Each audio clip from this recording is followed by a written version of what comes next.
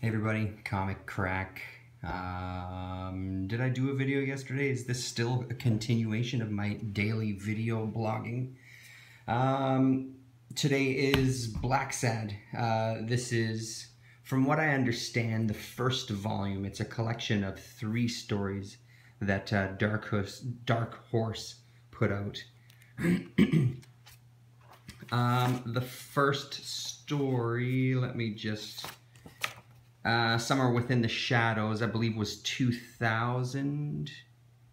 Uh, yeah, so 2000, 2002, and 2005.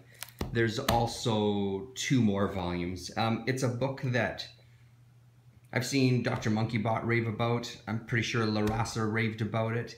Um, and I've seen it many times at Comic Factory downtown Winnipeg uh, on their shelves. They have quite a lot of well, maybe not quite a lot of. They have they have a, a handful of um, more kind of European comics and, and that sort of thing, reprints of European comics uh, that I always end up looking through. I've looked through these books numerous times, uh, but haven't jumped on them. And lately, with my kind of ventures into Druillet and Tardi, etc., etc., and Manchette stuff. Um, I decided today was the day to dive in. Uh, so I just finished reading it, and it really is great. It's a really great story, um, or series of stories. Um, kind of 1950s-ish, uh, right around then, with some of the topics that they tackle. There's an intro here by uh, Steranko um, Jim, Mr. Jim Steranko talking and singing the praises of this book. So the first story opens up with a murder. Uh, we get introduced to Blacksad, and turns out that this woman he knows uh, from a previous part of his life. They had a relationship together. Um, so the whole book is kind of noir, uh, crime noir type of stuff. Um, I love I love these pages. Love the colors on these pages here. Um, so as you can see, the whole world is in. Uh, what am I trying to say? The whole world consists of animals. Um, and they're all sort of uh, characteristically human. Um, and what animal that they are represents kind of what their station is in life to some degree. Uh, you know, like there was that snake, that lizard who was kind of, he's a kind of assassin in this story.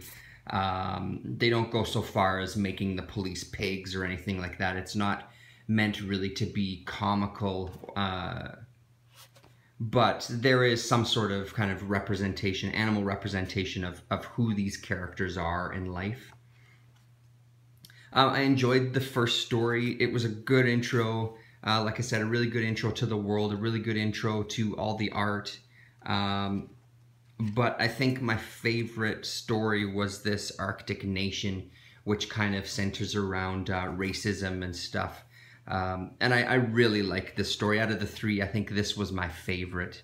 Uh, story of a, a, little girl that gets kidnapped and Blacksad kind of gets sucked into this whole mystery um, yeah, and uncovers kind of a bit of corruption and that sort of thing in this small town. Uh, great stuff. I mean, I don't really know what else to tell you about it other than uh, it's a hell of a read. It, it reads pretty quickly, um, and it's not it's not really. And then of course there's some good old fashioned sex. Uh, it's not really something that's uh, too dense of a read that uh,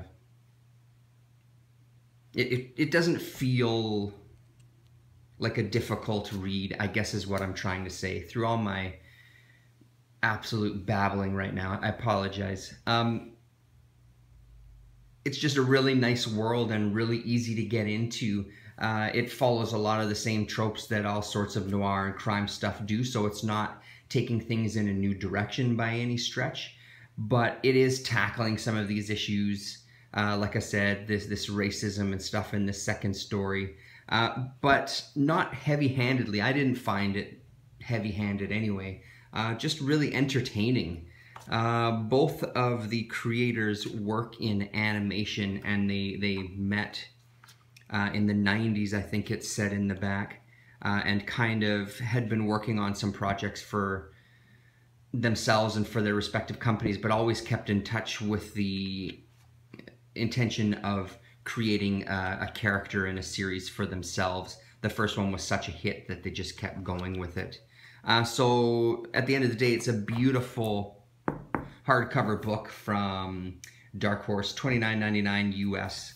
Um, I think actually he had it priced at the US price, uh, which is a, a, good thing. I didn't have to pay the kind of Canadian equivalent of $30 US, which was pretty great. Uh, so yeah, really, really great. I'm glad that I finally took the plunge uh, to check this out. Uh, I will be getting the other two volumes at some stage in the next week or two for sure uh, to fully dive into this world. Uh, ones that I haven't read yet that I also picked up today, a couple of Tardi. I have these reprinted in Cheval Noir, and I've read a couple of them. He's got the first two books at the shop. I believe there was more than two volumes.